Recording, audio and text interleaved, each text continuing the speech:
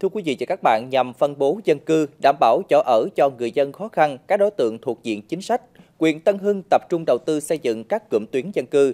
Đây cũng là công trình nằm trong chương trình đột phá mà quyện đang gấp rút thực hiện, ghi nhận của nhóm phóng viên thời sự. Đây là tuyến dân cư cặp kênh 79 xã Vĩnh Thạnh, bờ Bắc, có tổng mức đầu tư trên 8,3 tỷ đồng. Là một trong những hộ chuyển về đây đầu tiên, ông Hà Văn Lộc cảm nhận rõ sự đổi thay của gia đình và người dân sống xung quanh tuyến dân cư này.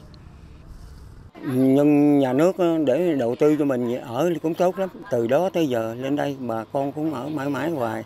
Cái lúc trước không có dân, không có chỗ ở hay không? Từ nhà nước lên tuyến cư này làm lộ làng rồi, nhà nước là kêu mình lên đăng ký lên nền ở thì trước cái chương trình cầm tiến dân cư á, thì đến thời điểm hiện nay thì cơ bản đáp ứng được cái nhu cầu ở của người dân trên địa bàn thì bà con được lên ở những cái ừ, vị trí nó khang trang nó tránh được cái những cái rủi ro mà do thời tiết nó, nó, nó, nó gây ra thì đến thời điểm hiện nay thì trên địa bàn xã Vĩnh Thạnh là cơ bản là tất cả các hộ dân đều được ở trên các cụm tiến dân cư để đảm bảo cái gì cái đời sống của bà con.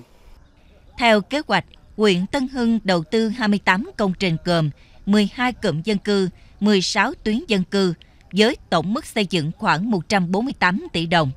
Đến nay, đã triển khai 21 công trình với tổng mức đầu tư gần 120 tỷ đồng.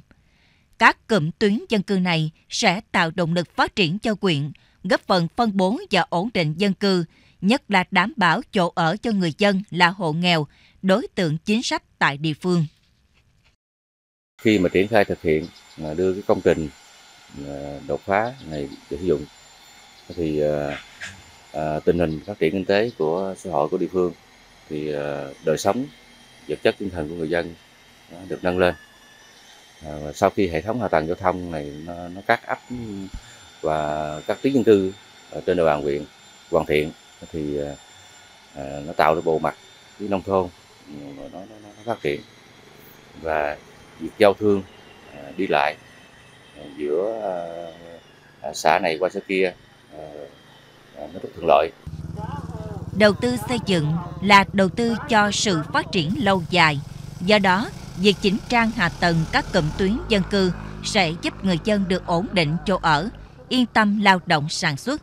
Từ đó kéo giảm tỷ lệ hộ nghèo, thúc đẩy phát triển kinh tế xã hội của quyện thời gian tới.